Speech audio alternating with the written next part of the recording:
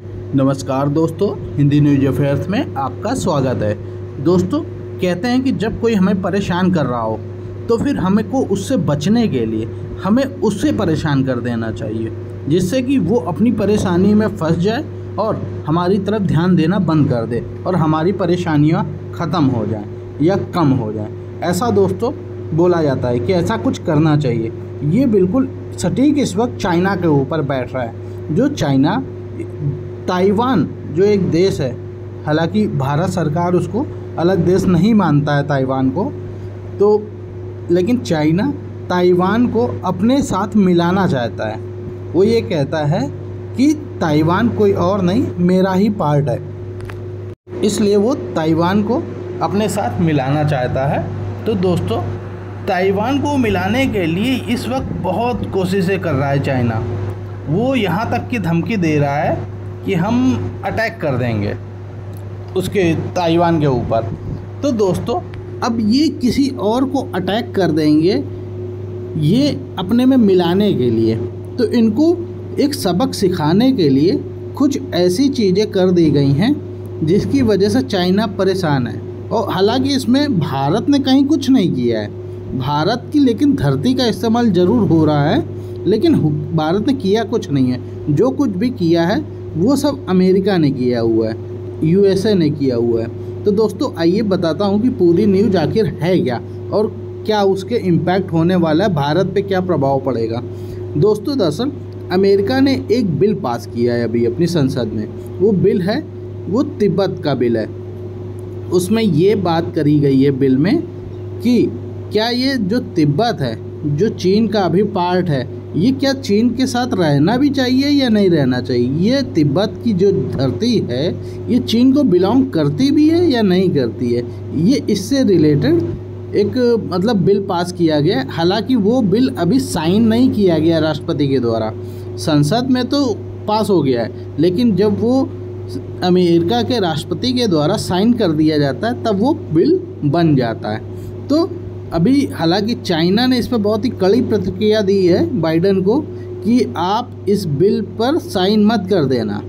वो एक तरह से धमकी दी है अमेरिका को। और चीन ये सब चीज़ें करता रहता है। अमेरिका को धमकी देना चीन के लिए नॉर्मल बात है।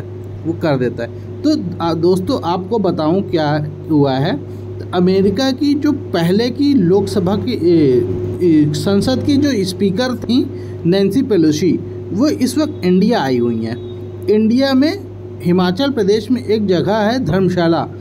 वहाँ पर वो गई हैं दलाई लामा से मिलने। दलाई लामा वो हैं जो तिब्बत के रहने वाले हैं वैसे तो और वो एक धर्म गुरु हैं, और वो इस वक्त भारत की शरण में हैं, और वो धर्मशाला में रहते हैं। तो वहाँ पर लॉ मेकर्स जो हैं अमेरिका के, उनके साथ नैन्सी पोलोसी उनसे मिलने गई हैं। और तिब्बत को लेकर बातचीत कर रही हैं सारी चीज़ें। कि तिब्बत कैसे चीन से अलग हो सकता है? तिब्बत की क्या परेशानियाँ हैं? ये सारी चीज़ों पे वो बातचीत कर रहे हैं। जिस चीज़ को लेकर के चाइना बिल्कुल भी खुश नहीं है। दोस्तों, अब क्या है कि अमेरिका इस चीज़ को लेकर के बहुत ही मतलब एग्रेसिव है। फ्रंट फुट पे आकर सारी चीज़ें कर रहा है। अमेरिका वैसे डायरेक्टली पहले कभी नहीं इतना उछलता था।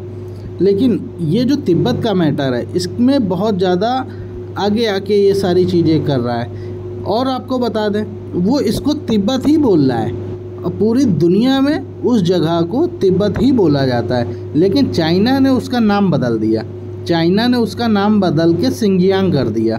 और वो इस चीज़ को जो भी लिख रहे हैं, वो सिंगियांग करके लिख रहे हैं। दोस्तों, आपको एक चीज़ ये बता दें कि चाइना इस वक्त पहली बार ऐसा है जब वो अब परेशान दिख रहा है। नहीं तो वो कभी क्या करता था? अरुणाचल प्रदेश में कुछ जगहों के नाम बदल देता था, कभी गाँव के नाम बदल देता था, कुछ ऐसा कर देता था। तो भारत एक मतलब आवाज़ उठाता था कि ये चाइना गलत कर रहा है। लेकिन इस बार ये देखा जा रहा है कि चाइना परेशान है। वो कह रहा है ये गलत हो रहा है। इसमें यूएसए को ऐसा नहीं करना चाहिए। अच्छा दोस्तों, इसमें एक चीज़ और भी है।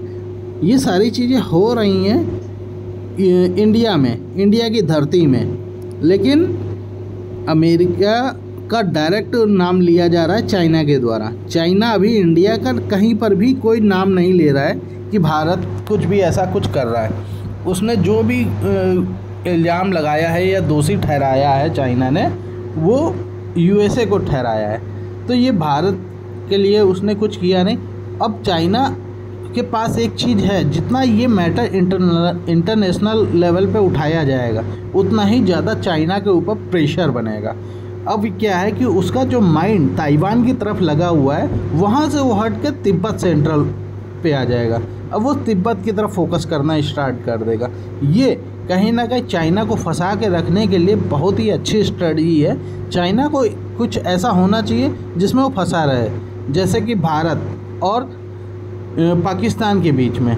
जम्मू एंड कश्मीर जो जगह है, यहाँ भारत के लिए वो परेशानी वाली जगह है ना। भारत फंसा है वहाँ पे। पाकिस्तान उसमें फंसा हुआ है। तो कहीं ना कहीं हमारा माइंड वहाँ पे लगा रहता है। हम दूसरी चीज़ों पे सोच नहीं पाते। ऐसे ही चाइना के लिए ये फंसने वाली चीज़ होगी चाइना भी वहीं माइंड लगा कर रखेगा। तो दोस्तों, ये भारत के लिहाज से तो खैर बहुत अच्छी चीज़ हुई है। हालाँकि नैन्सी पोलोशी या अभी जो भी लॉ मेकर आए हुए हैं, इन्होंने भारत के प्रधानमंत्री से इसकी मुलाकात नहीं करी है। अब देखने वाली बात होगी, क्या इस पर आगे मुलाकात होती है या नहीं होती है। दोस्तों, अब इस पर कुछ अपडेटेड न्यूज़ आएगी तो मैं आपके लिए अपडेटेड वीडियो लेकर आ जाऊँगा। धन्यवाद।